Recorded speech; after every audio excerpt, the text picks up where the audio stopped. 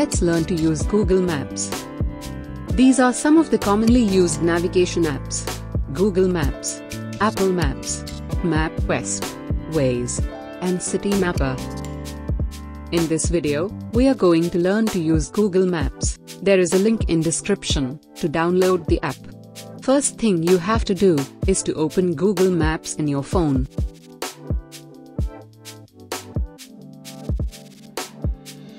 To use Google Maps, make sure that the GPS in your phone is turned on. Click on this button to know your location on the map.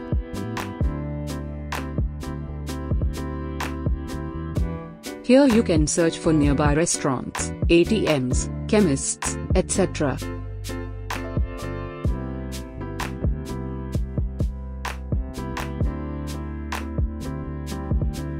To get directions to a place, tap on the Go button. The starting point is your location, by default. You can change it by typing another address. Google will start suggesting places as you type. Tap on the correct location to select it. Tap on Choose Destination to enter destination address. You can choose a path by tapping on it. Here you can find different modes to reach to your destination. Car Bike Local transport Tap here to confirm your ride. By walk and by cab. This section shows the time to reach and the distance. Click on Start to start the navigation.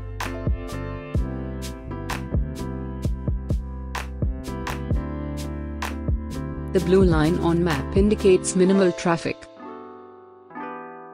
Yellow line indicates that the traffic is moving at a medium speed. And the red line indicates congestion. There is a recenter button, if you get lost on Google Maps, it will bring you back to your current location. You can turn on voice navigation by clicking on this button.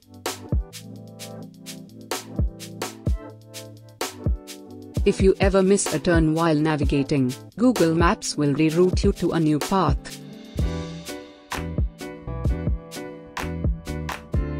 Here are some tips for older adults while using Google Maps. Share your trip with friends or family to let them know your location. Swipe up to share your trip's progress. With anyone on your contact list, it may take a while to find you a cab.